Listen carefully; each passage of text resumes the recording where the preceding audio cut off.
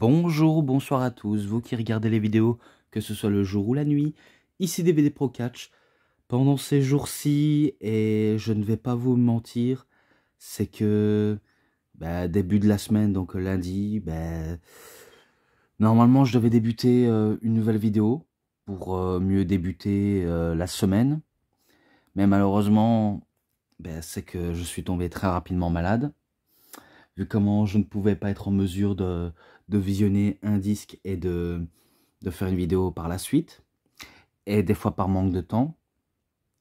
Mais sinon, euh, voilà, je tenais à vous expliquer, c'est pour mes raisons, pourquoi je n'ai pas su faire euh, d'autres vidéos, par exemple 3 ou 4 euh, par jour, comme ça m'arrive de faire, souvent par manque de temps, et, et aussi rapidement, c'est que j'étais tombé malade tout simplement.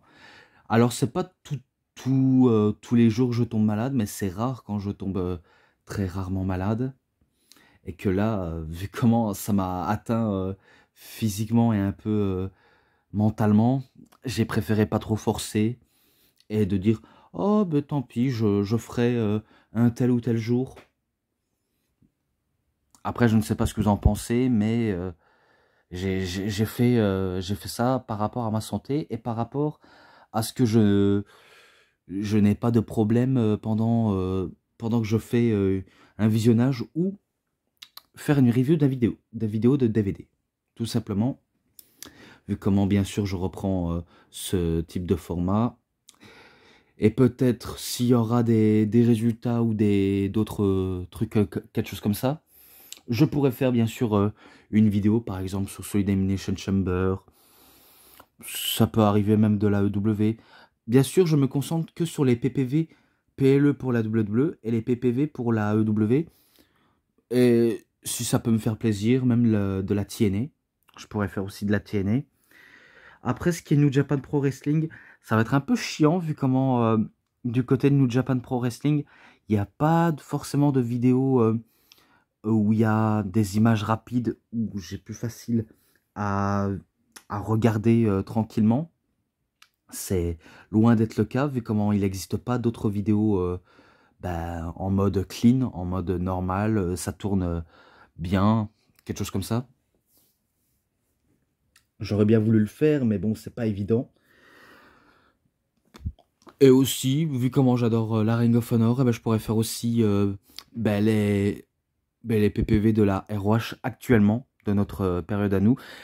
Comme d'habitude, bien sûr, je ne ferai pas de, de, chiffres pendant que je, je, regarde un match, vu comment je suis là pour euh, annoncer les résultats.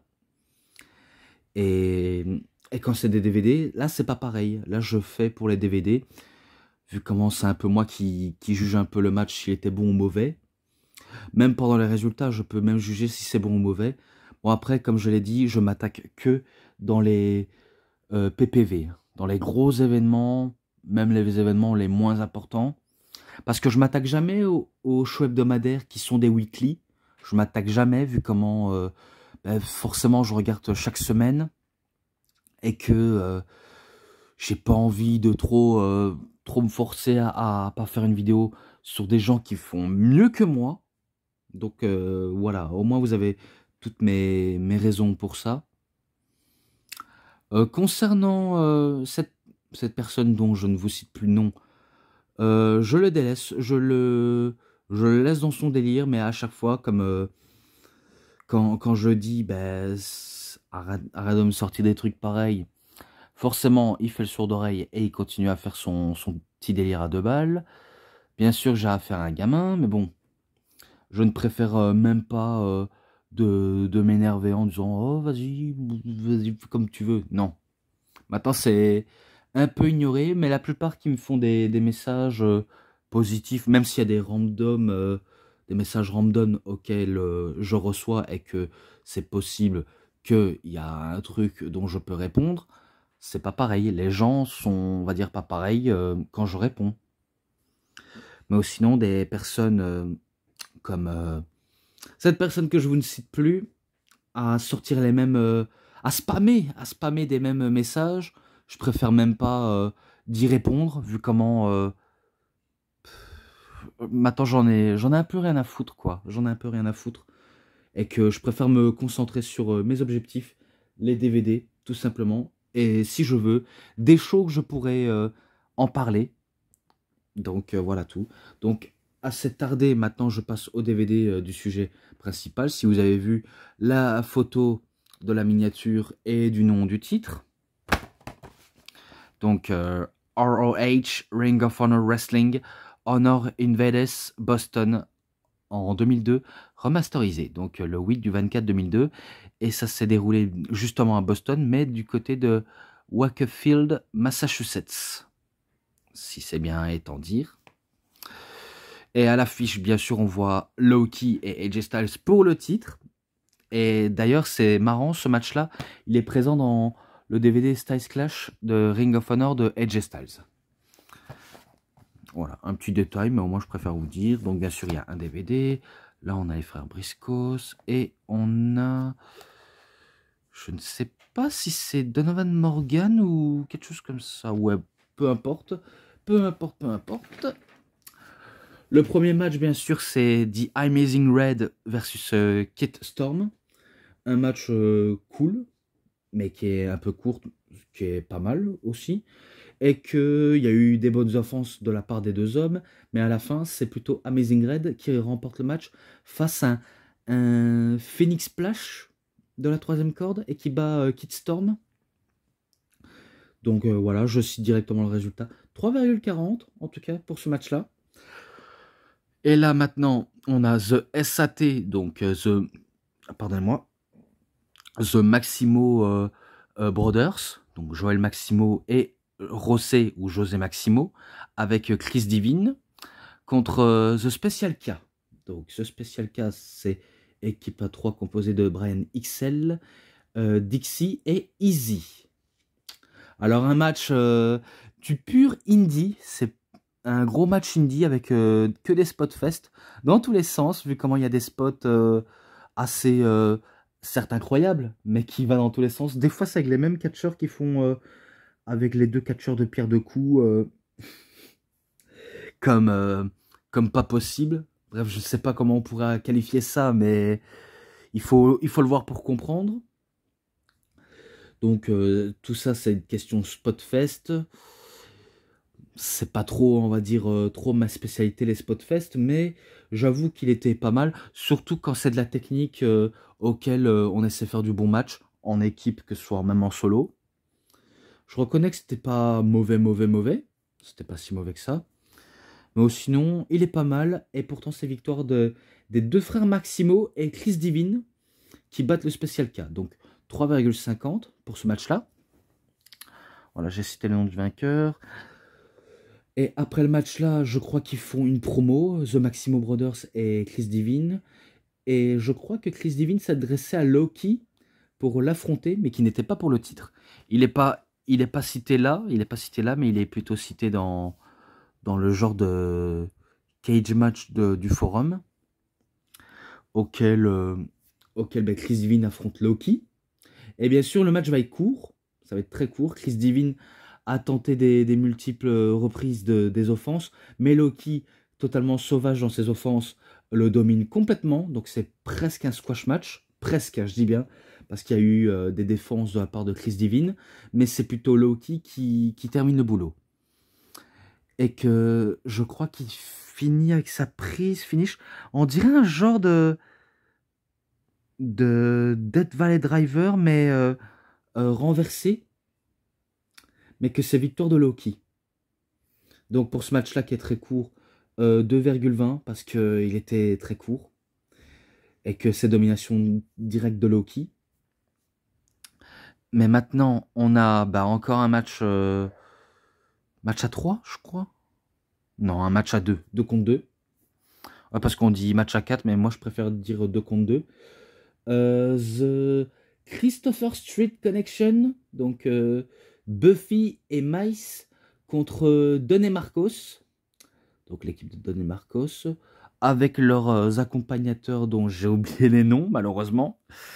Ah, c'est pas évident, donc euh, donc un match euh, qui est pas qui est pas terrible, qui est pas terrible. À vrai dire, il a un petit peu parti dans tous les sens et que il y a eu des moments drôles. Je reconnais qu'il y a eu des moments drôles, mais par la suite de ça, ça reste quand même euh, The Christopher Street Connection qui bat Don Marcos.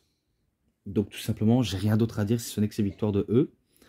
Pour ça, ce match-là, c'est un 3,5. Voilà, je suis gentil, je le mets à un 3,5. Et par la suite de ça, ben, on repoursuit encore, bien sûr, avec Scoot Andrews contre Mike Tobin. Alors, contre Mike Tobin. Euh, le match euh, était un peu moyen, je trouve. Je trouve qu'il était un peu moyen. Ils ont voulu se démarquer comme ils pouvaient, mais c'est pas évident, pas évident pour eux de, de mieux briller dans ces cas-là. Pas tellement évident. Bon, après, je suis quand même là pour citer le nom du vainqueur. C'est victoire de Scott Andrews qui bat, qui bat Mac Tobin. Et c'est un 3,20. Bien sûr, Scott, Scott, Andrews, un peu à la manière de Chris Divine, il reste, euh, il reste sur le ring pour affronter Xavier. Et du coup, je ne comprenais pas tout l'intérêt. Pourquoi est-ce que Chris Divine Scott Andrews, euh, qu'on avait vu euh, tout à l'heure plus tôt, euh, bien sûr, pour Chris Divine, il reste euh, encore là à catcher alors qu'il a fait euh, pas moins de 25 minutes à combattre en équipe. Excusez-moi si vous entendez du bruit, mais je préfère vous avertir. Et que là, ben, il perd contre Loki. Et pareil pour Scott Andrews, il bat McToby, mais il reste pour affronter Xavier. Du coup, je me dis, est-ce que c'est pas plutôt un match pour couronner le challenger numéro 1 au titre de Loki, le titre euh, Ring of Honor? Et du coup, ben, j'avais l'impression que c'était presque ça. Et que le match, là, il n'y a pas à dire, il était pas mauvais du tout, entre Xavier et Scott Andrews. Mais que euh, Scott Andrews ne va pas euh, réussir là où Chris Divine a échoué, vu comment il va aussi échouer que son, bah, que son, on va dire, collègue catcher, vu comment c'est Xavier qui bat euh, Scott Andrews en faisant euh, un 450 splash. Dans la troisième corde, bien sûr. Et du coup, ben, c'est lui qui remporte la victoire. Donc victoire de Xavier, 3,50. Et après ce match-là, on a Michael Shane contre Paul London. À ce que je crois, ce sont tous les deux les élèves de Shawn Michaels. Enfin, Michael Shane, je crois. Michael Shane, je crois que c'est l'élève de Shawn Michaels, comme, euh, euh, Brian Kendrick, comme euh, Brian Danielson, Daniel Bryan bien sûr, mais Paul London, je pense pas. Peut-être que oui, mais je ne sais plus.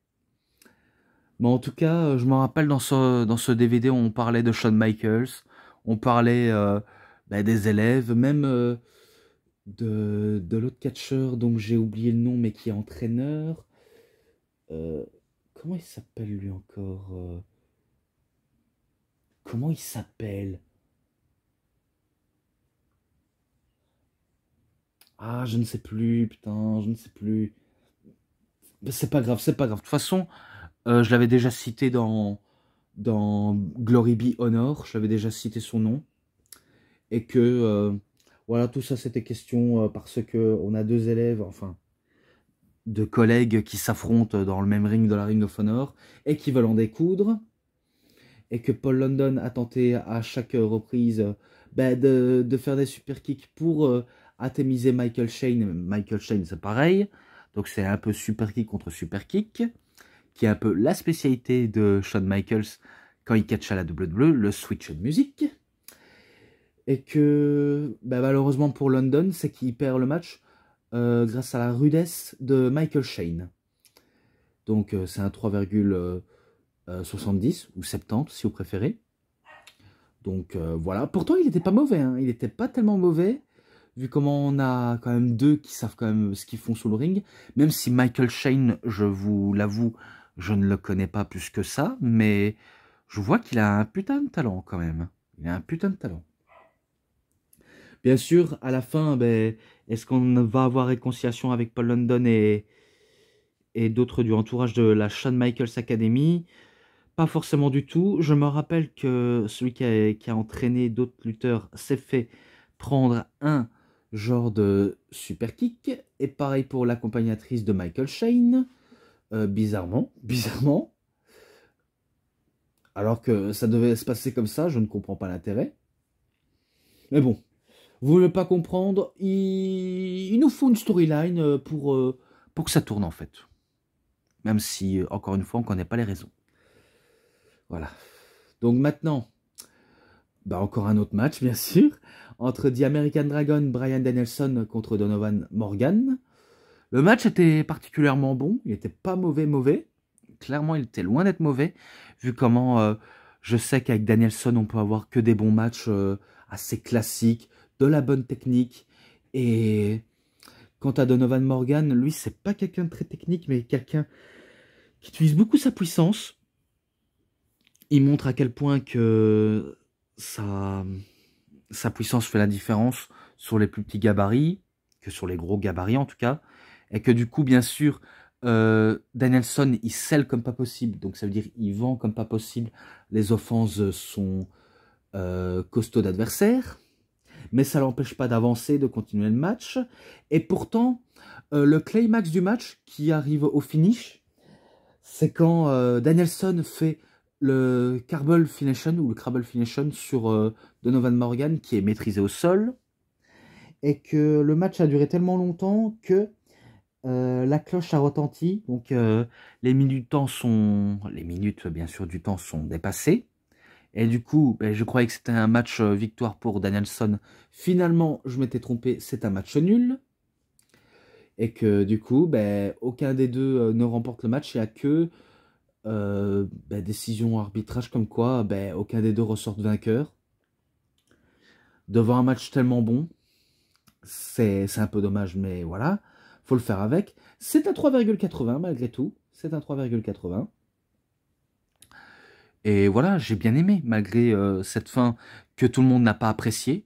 Même si à la fin, Danielson se fait démolir par euh, Donovan Morgan, en guise de, bah, de dire J'aurais dû gagner, donc c'est moi qui aurais pu euh, t'écraser plus vite que prévu. Finalement, non. Et là maintenant, ben, un match de Boston Massacre. Donc, euh, Massacre à Boston.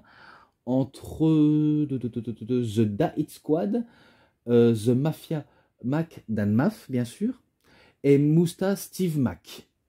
Contre The Carnage Crew, donc Tony Bobby DeVito, et HC Local Lock.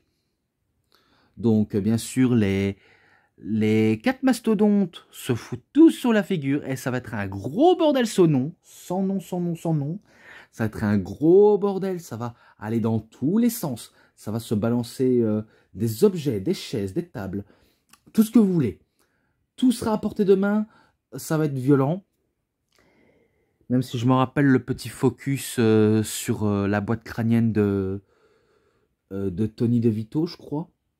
On montre qu'il s'est bien fait ouvert de la tête.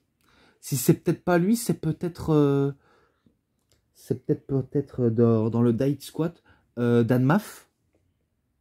Vu comment on voit une entaille au niveau du crâne, en plein milieu du crâne.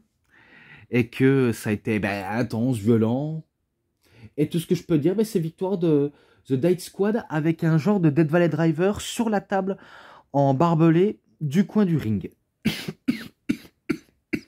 c'est tout ce que je peux en dire en ce moment.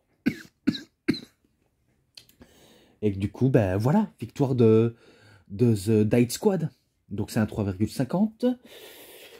Ensuite de ça, ben on a Biohazard, enfin Biohazard, contre Don Juan. Euh, un match euh, que je me rappelle qui était tellement court que j'ai pas trop besoin de raconter. De toute façon, c'est un peu, le problème des autres matchs. Hein. Il y a tellement de matchs euh, auxquels il y a tellement trop de spots que j'ai pas vraiment trop besoin d'en raconter, si ce n'est que je peux donner le résultat à l'avance. Donc pour ça, je préfère dire victoire de Bio Hazard qui badonne Juan. Peut-être avec un Dead Valley Driver ou un. Ou un. Allez un Blues Thunder Bomb, bref, peu importe. 2,70 pour ce match-là. Eh ben là, on, repoursuit encore. Alex Arion contre The Maverick Wild. The Maverick Wild. Là, c'est un... allez, un petit match bien sympathique, mais pas trop, pas trop quand même, vu comment j'ai pas trop grand chose non plus à raconter, si ce n'est qu'il était pas mal. Et que The Maverick Wild, je me rappelle qu'il fait un genre de diagonale de fou où on dirait qu'il se cogne lui-même contre le coin du ring avant de faire un genre de Selton Splash sur son adversaire. Et que c'est tout ce que je me rappelle dans le match, si ce n'est que par la suite, Alex Arion prend l'avantage et il piège Maverick dans un genre de petit paquet, auquel c'est lui qui bat euh, The Maverick, et que c'est un 3,20, tout simplement, tout simplement, tout simplement. Et par la suite, encore un autre match par équipe, mais encore un 2 contre 2. The Natural euh, Born Sinners, donc équipe composée de Homicide et de Boogaloo, contre The Little Guido Nenzio, qu'on connaît sous le nom peut-être de euh, James Maritato, même si à la WWE ou à la ECW on l'appelait euh, The Little Guido ou euh, Nunzio pour la WWE. Donc euh, Little Guido pour la ECW, Nunzio pour la WWE. Et ben dans le circuit indie, et ben c'est James Maritato qui fait équipe avec Tony Mamalouk. Donc un match par équipe ben, assez banal, pas, pas, pas si mauvais que ce point. Ah putain, pas si mauvais à ce point-là mais qui était vraiment pas mal, avec des bons changements en équipe, du bon travail euh, à deux, euh, que ce soit de l'un des deux camps adverses. Mais par la suite, ce sera Homicide qui aura le dernier mot en faisant euh, le Dark Cup Killer, ou le Cup Killer sur Tony Mamalouk, et qui bat tout simplement la moitié de l'équipe de la Full Blood Italians, donc le FBI. Même si même si c'est pas encore euh, le nom d'équipe encore, c'est pas encore le nom, vu comment normalement ils sont trois dans le full blood italien ou, ou moins que trois, quatre, ça dépend. Pourtant, pourtant je crois qu'à un, temps ils étaient un tout petit peu plus nombreux dans la full blood italienne, mais que là ils sont que deux, ils sont vraiment que deux. Et tout ce que je peux dire, ben, c'est victoire de The Blood, The, The Natural Born Sinners et que c'est 3,60 tout simplement. Plus que deux matchs après c'est terminé. Marc Briscoe contre Jay Briscoe. Alors vu comment j'avais déjà cité il y a fort longtemps euh, une altercation entre Jay contre Marc, auquel, ben, vu comment il veut donner une correction à son petit frère dans un match de catch, vu comment ce dernier n'en a fait qu'à sa tête, et du coup il veut euh, tout simplement ben, lui donner une leçon en plein match un truc que Marc accepte, mais qu'il ne va pas se laisser faire par son grand frère. Et pourtant, ce sera Jay qui va, on va dire, euh, un peu dominer la rencontre jusqu'à ce que Marc, ben, il renouvelle de ses esprits et c'est lui qui relance la machine et que, euh, par surprise, c'est lui qui bat euh, son frère Jay. Il bat son regretté frère. Si je crois bien, un genre de... C'est un genre de reverse fireman scary où il est un peu plus dangereux cette fois-ci. Euh, je ne sais pas comment on pourrait appeler ça, mais en tout cas, c'est un peu comme le KOD de Bianca Belair. Mais, euh, là, le catcher, il tombe directement sur la tête, hein, même s'il faut avoir une bonne protection. Mais c'est Briscoe qui, qui remporte contre son frère Jay Briscoe. Donc c'est tout ce que je peux en dire en ce moment. Donc 3,80, qui était un match de frère contre frère bien sympa, mais sans plus. Et le dernier, le main event, Loki contre AJ Styles pour le titre du monde de la ROH, de la Ring of Honor. Et que le match, j'ai bien adoré, vraiment bien adoré. Et comme je vous l'ai dit, il est présent dans le DVD de Styles Clash de AJ Styles. Voilà, je n'ai pas besoin de trop raconter, j'ai pas besoin de dire euh, mille fois la même chose. Mais que le match était terriblement bon avec euh, deux catcheurs qui sont assez agiles, assez souples et qui ont toutes les ressources nécessaires à nous produire un très bon match, ce qui n'est pas faux d'un point de vue euh, objectif, mais que euh, et là que quand je réalise que c'était pour le match pour le titre, je me suis dit si je m'aurais dit exactement ben, le même cas quand j'avais fait cette review, je je me serais pas rendu compte mais là, malheureusement, je m'en suis rendu compte, donc je ne peux pas nier que, euh, que tout ce que j'ai dit avait raison. Mais le, Et pourtant, j'étais persuadé que j'avais pas ce show hein, dans, dans le DVD. Et pourtant, si, quand j'ai regardé, il était présent. Je ne peux pas nier. Il faut que je sois transparent et honnête. On a eu des tentatives de Styles Clash, mais que Loki n'a fait que de les éviter, pour éviter de partir dans le Styles Clash. Alors que AJ a tenté à plusieurs reprises de, bah, de se défaire de la prise euh, d'un genre de d'un genre de Phantom Driver de, de Loki, mais que il, s'échappe à la dernière seconde, jusqu'à ce que au niveau du main event, enfin au niveau du finish, pardonnez-moi, parce que le main event c'était déjà le main event, où cette fois-ci il va se faire allumer euh, violemment par Loki, et que là il va se laisser euh, foudroyer par la prise de Loki. Et du coup, bien sûr, la prise de Fatal de trop, il ne peut rien y faire. Vu comment il perd face à euh, Loki, et J Styles en tout cas. Et du coup, ben, c'est victoire de Loki qui conserve son titre. Et à la fin, à la fin, ben, on a serrage de main et que Xavier l'attendait à l'entrée. Il, attendait, euh, il attendait Loki à l'entrée pour euh, l'air de dire que je vais te défier pour le titre. Donc ça se lance confirmé. Sauf que je pense pas que je l'ai le match contre lui et Loki. Je ne sais pas. En tout cas, je ne sais pas. Mais euh, sinon, voilà, c'était pas mal. Victor de Loki, 3,90 ou 3,90 si vous préférez. Et voilà, ça conclut ici. Ça se conclut ici pour euh, Honor euh, Invades Boston.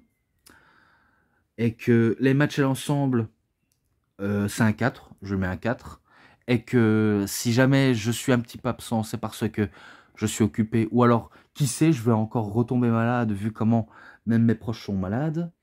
Donc, euh, si je sors pas de vidéo, vaut mieux pas que je prenne de risques. Si je le fais, ben, j'aurais tenu ma promesse. Pour l'instant, je ne sais pas, je ne dis rien en ce moment. Donc, euh, voilà, c'est tout pour cette review. C'était DVD Pro Catch. J'espère que ça vous aura énormément bien plu. Et si vous avez aimé cette vidéo de review, vous savez ce qu'il vous reste à faire. Likez la vidéo, commentez, partagez, abonnez-vous à ma chaîne et cliquez sur la petite cloche pour avoir plus des notifications et des prochaines vidéos. Et moi je vous dis bonne journée, bonne soirée à tous. Au revoir tout le monde pour une prochaine vidéo. A plus à tous les fans de catch. Allez, bye bye tout le monde.